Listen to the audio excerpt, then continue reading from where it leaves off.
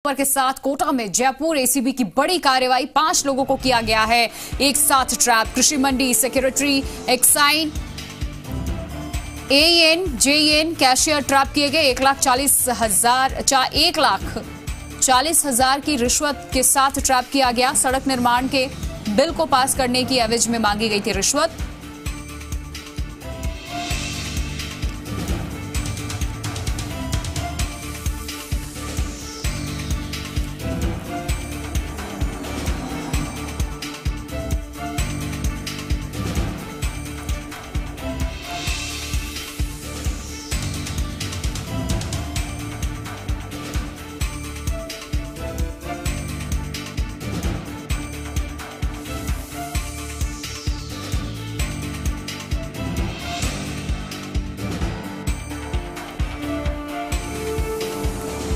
तो कोटा में जयपुर एसीबी की बड़ी कार्रवाई, पाँच लोगों को किया गया है एक साथ ट्रैप, कृषि मंडी secretary exine an JN cashier trap किए गए एक लाख चालीस हज़ार की रिश्वत के साथ ट्रैप किया गया है। इन सभी को सड़क निर्माण के बिल को पास करने की एवज में मांगी थी रिश्वत। जयपुर देहात यूनिट और कोटा एसीबी की बड़ी कार्रवाई मानी जा रही है। एक तरफ़ सरकार, जहाँ रिश्वतखोरी पर शिकंजा कस रही है, वहीं दूसरी तरफ़ ऐसे अधिकारी हैं जो सरकारी अधिकारियों पर पलीता लगा रहे हैं।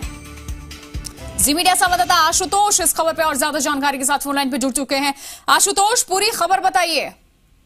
देखिए ये अपने में बेहद बड़ी कार्रवाई है। परवादी की तरफ़ से जयपुर मुख्यालय जो एसीबी का है वहाँ पे ये एक शिकायत दी गई थी। और एक बड़ी बात ये भी है कि आज ही एसीबी के डीजी ने एक बड़ी समीक्षा बैठक भी की थी। उस समीक्षा बैठक में कार्रवाई को लेकर जानकारी भी मांगी थी। और उसी बीच कोटा में जाकर जयपुर एसीबी ने एक बड़ी कार्रवाई की है। ये भी जानकारी सामने आ रही है कि ये कोटा एसीबी को इसमें साथ में लिया गया था। दरअसल जो कोटा की कृषि मंडी है हम्म। वहाँ पे एक सड़क निर्माण हुआ था। और सड़क निर्माण निर्माण करने के जो ठेकेदार होते हैं जो उनकी जो परवादी था आ, उनके बिल पास होने थे और बिल पास करने की एवज में लगातार उससे पैसे मांगे जा रहे थे। तकरीबन एक लाख चालीस हज़ार की राशि बताई जा रही है जिसमें कृषि मंडी के जो सेक्रेटरी हैं जो एक्शन है एन है जेईएन है और कैशियर है इन सभी को एक साथ ट्रैप किया गया। अभी मौके पर कार्रवाई लगातार जारी है।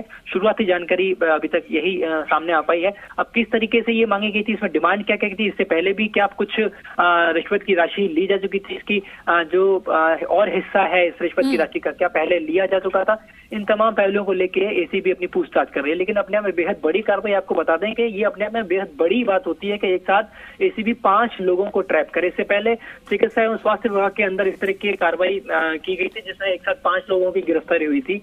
इसी तरह के एक मामले में रिश्वतखोरी के मामले में। लेकिन ये अपने आप में एक बेहद बड़ा मामला जहाँ मौके पे अलग अलग जगहों से बिल्कुल देखिए सवाल तो कई सारे खड़े हो रहे हैं कि क्या ये पार्शियल अमाउंट था या फिर ये पूरा अमाउंट था जिसे रंगे हाथ यहाँ पर दबोचा गया है? एसीबी की बड़ी कार्रवाई मानी जा रही है। बहुत बहुत शुक्रिया फ़िलहाल तमाम जानकारी देने के लिए।